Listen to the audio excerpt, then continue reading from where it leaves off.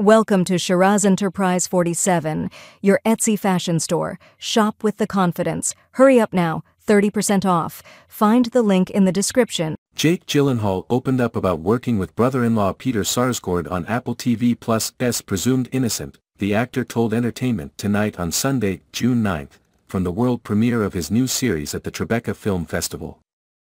Gyllenhaal stars in Presumed Innocent, but also serves as an executive producer alongside J.J. Abrams and David E. Kelley. The Roadhouse star playfully mentioned to E.T. that he and the other producers saw Sarsgaard as a long shot for the cast, despite Gyllenhaal's connection to the actor, who has been married to his sister Maggie Gyllenhaal since 2009. Presumed Innocent, scheduled for release on Apple TV Plus on Wednesday, June 12, is based on Scott Turow's 1986 novel of the same title.